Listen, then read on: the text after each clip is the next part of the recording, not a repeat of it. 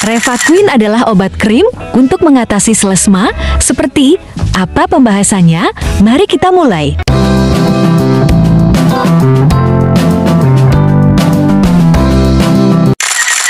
Revaquin Cream digunakan sebagai terapi jangka pendek untuk mengatasi gangguan kulit melasma derajat sedang sampai berat. Revaquin mengandung hidroquinone 40 mg, tretinoin 0,5 mg, dan fluocinolone acetonide 0,1 mg.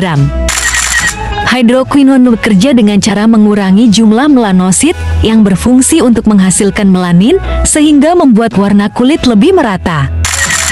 Tretinoin bekerja dengan cara membantu membuka pori-pori yang tersumbat.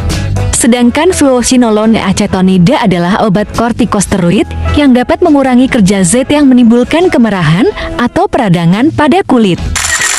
Revaquin merupakan obat yang termasuk ke dalam golongan obat keras sehingga setiap pembelian dan penggunaannya harus sesuai petunjuk dokter.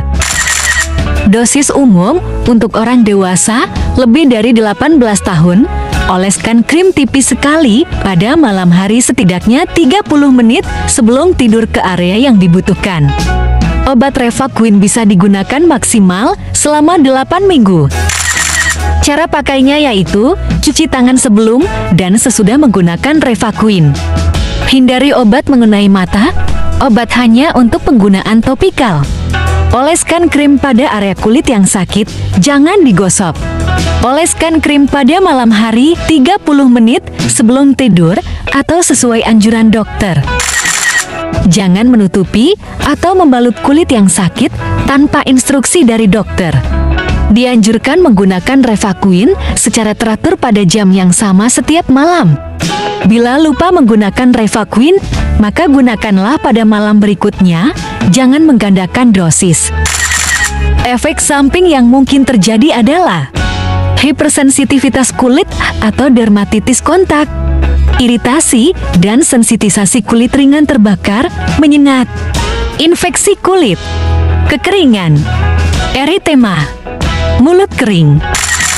Gejala overdosis penggunaan kortikosteroid dalam jangka panjang akan menyebabkan gejala seperti penipisan kulit, mudah memar, perubahan bentuk tubuh, terutama pada area wajah, leher, punggung, dan pinggang, tumbuhnya jerawat atau rambut wajah, gangguan menstruasi, impotensi.